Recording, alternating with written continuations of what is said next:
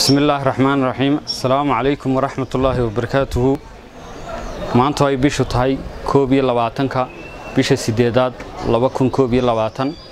Waxaa xildhibaanada golaha deegaanka ee degmooyinka afarta degmo doorasho baki boorama lughayo iyo saylac u furmay tobabarkii kaasoo kor loogu qaadayo aqoonta xildhibaanada. Aad baan ugu faraxsanahay maxadka dowladaha hoose ee tobabarkaas soo qabanqaabiye waan u mahad celinna mar labaad halkan waxaan doonayaa inaan ka raaligeliyo maayir ku-xigeenka degmada baki dayib xasan raage oo runtii aniga intaan xildhibaanka noqday degmada baki si weyn iigu soo dhoweeyey isaga iyo qoyskiisa reer cudad waxaan u hayaa abaal weyn oo aanan gudi karin.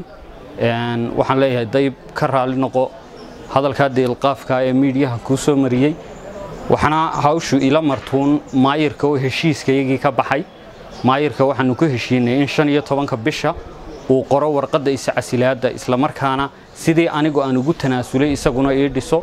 Taasina may dhicin oo maayirku ilaa hadda uu ka meeraysanayaa waxa weeye kormeerka aan baxnay aniga iyo maayir ku-xigeenku waxaanu heshiis ku ahayn maayirka inuu warqadda iscasilaadana wakhtigaa qoro aniga iyo maayir ku-xigeenka dayib xasan raage cudad waxaan soo marnay deegaano fara badan ay ka mid yihiin ruqi qardhiile qabuurta xamarta oogeed buurta siimoodi kalabaydh taasoo aan dadka ka soo qoraynay baahiyahooga ugu muhiimsan waxbarashada iyo caafimaadka iyo biyaha.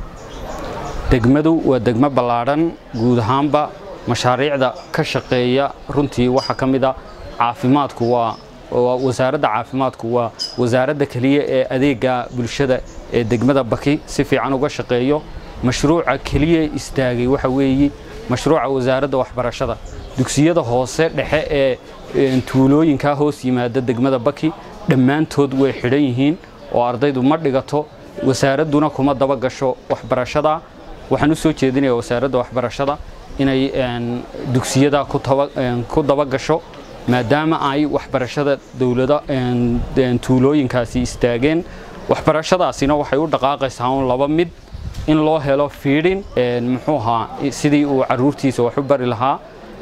Dadka degan degmada baki waxay u badan yihiin xoolo dhaqato. Ninka xoolo dhaqatada ilmihiisa inuu waxbaro wuxuu ka jecel yahay inuu xoolaha u eego. Wasalaamu calaykum waraxmatullahi wabarakatu